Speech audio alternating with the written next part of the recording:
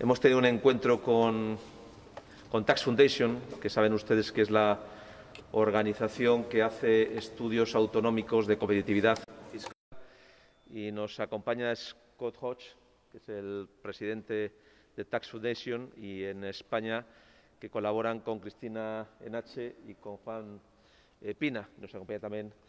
Heidi Millán, que es la directora general de Tributos y Política Financiera. Y aunque mañana tendrán la presentación del informe a nivel nacional en Madrid para toda España, querían tener una reunión con nosotros ya aquí en Castilla y León como consecuencia de que hemos sido la comunidad autónoma que más posiciones ha avanzado en el índice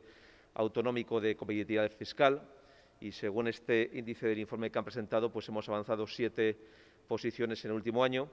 y nos hemos colocado como cuarta comunidad autónoma tan solo por detrás de Madrid, de la comunidad eh, foral vasca y de Canarias, siendo estas dos últimas comunidades autónomas que tienen regímenes específicos. Para nosotros es un buen estímulo el haber hecho este avance. Nos estaban comentando algunas líneas de progreso que todavía podríamos eh, mejorar y lo que es relevante para nosotros no solamente es mejorar en este ámbito, sino que se ponga en valor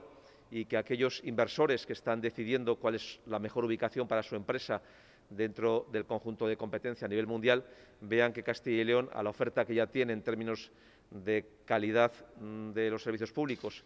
o de formación y cualificación de sus trabajadores, pues tiene una oferta muy favorable en términos de bajas eh, tasas, de bajos impuestos y de alto índice de competitividad fiscal.